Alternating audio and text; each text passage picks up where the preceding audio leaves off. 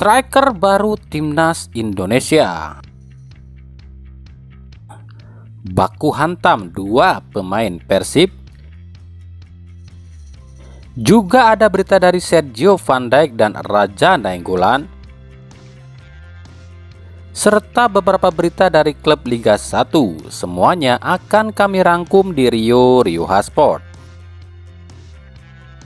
Assalamualaikum warahmatullahi wabarakatuh. Hai Rio Rio Sport Lovers Inilah Rio Rio Sport untuk edisi kali ini. Tapi seperti biasa sebelum kita lanjut ke videonya Saya tetap mohon dukungannya untuk channel ini Agar terus berkembang dan bisa memberikan berita-berita informatif Yang tentunya semoga saja bermanfaat untuk kita semua. Dengan cara klik subscribe Aktifkan juga notifikasi loncengnya Like, share, dan juga komen dan inilah Rio Ryuha Sport selengkapnya.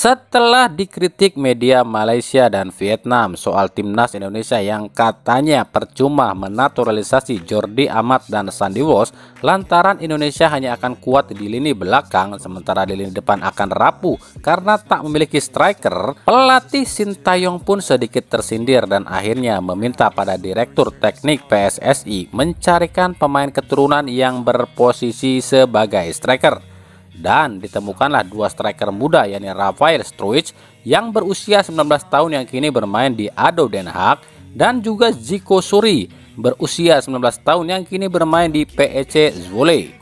Dua pemain ini kabarnya sudah bergabung dengan timnas U20 di Spanyol. Jika Sintayong puas pada dua pemain ini, maka dua pemain ini akan menyusul Ivan Jenner dan Justin Hubner yang akan dinaturalisasi. Uniknya, salah seorang dari dua pemain ini yakni Ziko Sori justru tak fasih berbahasa Indonesia namun fasih berbahasa Jawa. Ya, hal ini lantaran sang ibu yang berasal dari Mojokerto. Jika timnas U20 sudah hampir mendapatkan striker naturalisasi, lalu bagaimana dengan tim senior dan U23? Hingga sejauh ini Sintayong sendiri belum memutuskan akan mengambil siapa saja pemain yang akan berlaga di AFF 2022 ini. Namun kabarnya 20% skuad ini akan diisi pemain senior dan sisanya akan diambil dari U23 dan U19. Dan kabarnya ada kemungkinan Sintayong akan memanggil dua striker gaek naturalisasi yakni Ilyas Pasoyevic dan Beto Gonçalves dan ada satu wacana yang unik dari Sintayong. Kabarnya STI akan merombak posisi Sandy Walsh bukan sebagai pemain back kanan, tapi akan diposisikan sebagai striker di AFF nanti. Bicara soal AFF, Indonesia sendiri tergabung di grup A bersama Brunei, Filipina, Thailand, dan Kamboja. Ini artinya akan ada dua pemain Persib yang akan baku hantam. Eits, maksudnya head to head loh, bukan baku hantam pukul-pukulan ya. Hihi. Mereka adalah Daisuke Sato di kubu Filipina dengan Rahmat Irianto di kubu Timnas Indonesia. Sato yang berposisi sebagai back kiri otomatis akan bertempur atau berbaku hantam dengan Rahmat Irianto yang diposisikan oleh Sintayong di posisi fullback kanan. Tentu ini akan menarik, pasalnya kedua pemain ini adalah bertifikal pemain yang ngotot. Sato dengan gaya khasnya yang meledak-ledak, sementara Irianto dengan gaya kalem tapi ngotot. Selain Daisuke Sato dan Rahmat Irianto, laga Indonesia versus Filipina pun kabarnya akan diwarnai adu teknik antara dua jenderal lapangan tengah beraroma Persib, yakni Maklok di kubu Timnas Indonesia dengan Omid Nazari di kubu Filipina yang kabarnya akan masuk di skuad Filipina di AFF ini. Menarik untuk disaksikan.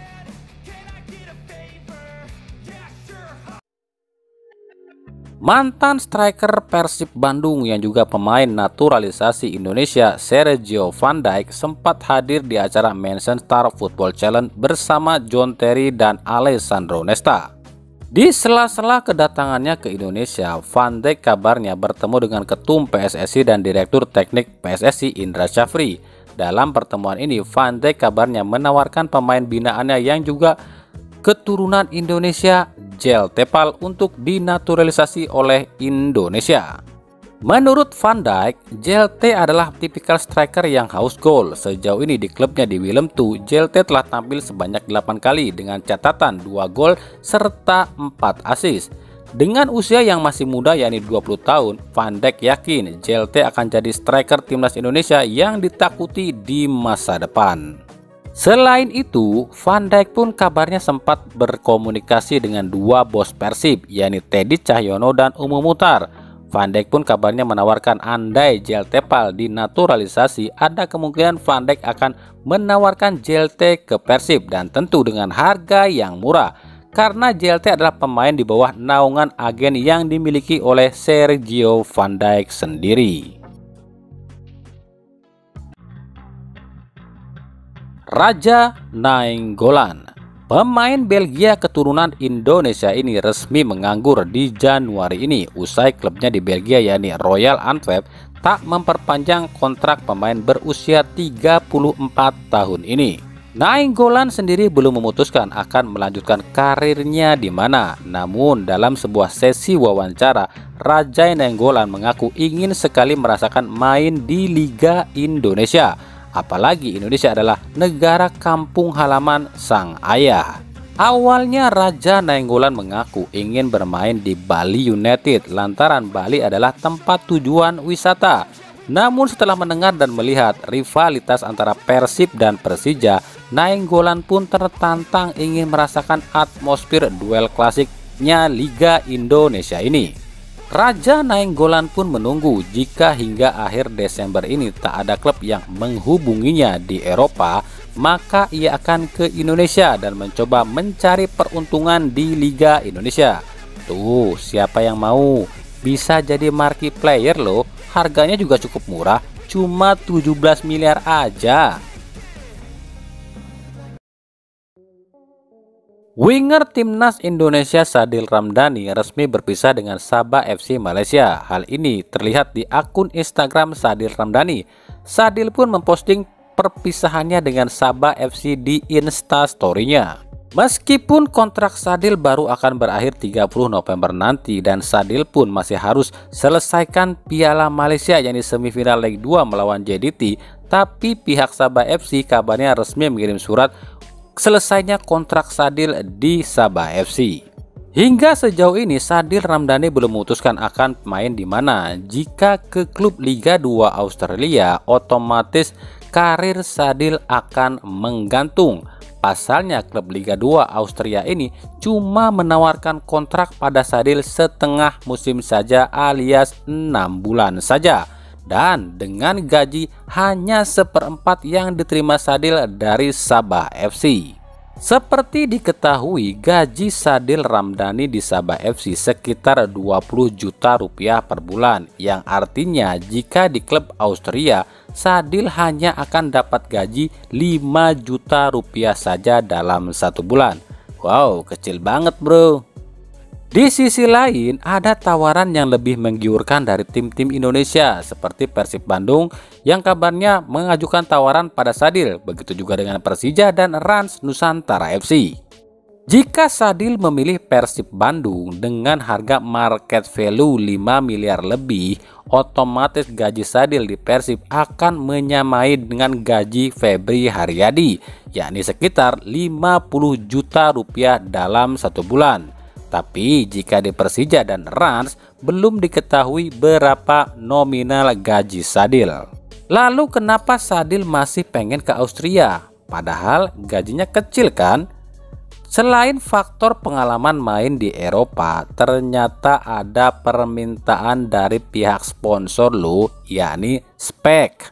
Produsen aparel olahraga ini ingin mengembangkan sayapnya di luar negeri, terutama Eropa. Sadil sendiri adalah salah satu brand ambassador Spek.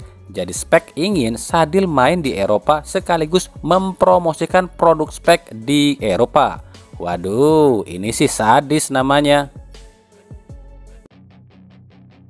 Dari Persebaya, pihak Persebaya kabarnya geram pada sejumlah klub yang coba melakukan aksi transfer pemain namun tak sesuai prosedur, yakni tak melalui pembicaraan dengan klub, tapi pembicaraan atau tawaran pribadi pada pemain.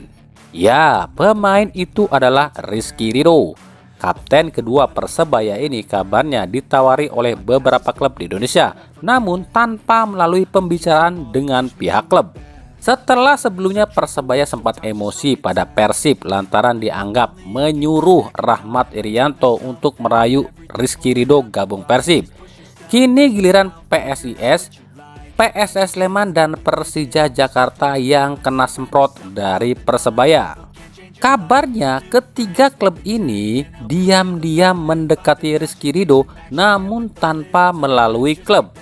Pihak Persebaya terang-terangan mengatakan jika Rizky Ridho hanya akan dilepas ke klub Eropa atau ke klub luar negeri dan tak akan dilepas ke klub Indonesia mana pun.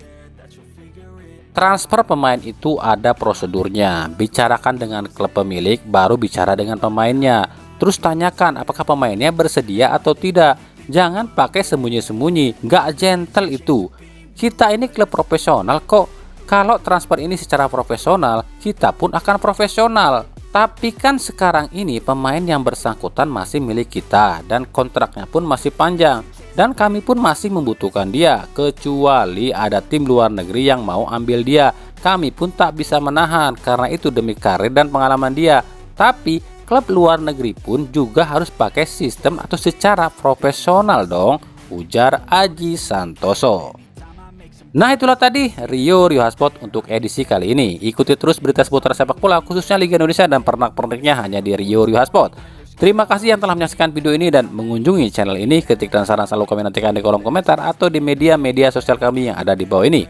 Sampai jumpa di video-video kami selanjutnya dan salam Rio Rio Haspot. Wassalamualaikum warahmatullahi wabarakatuh.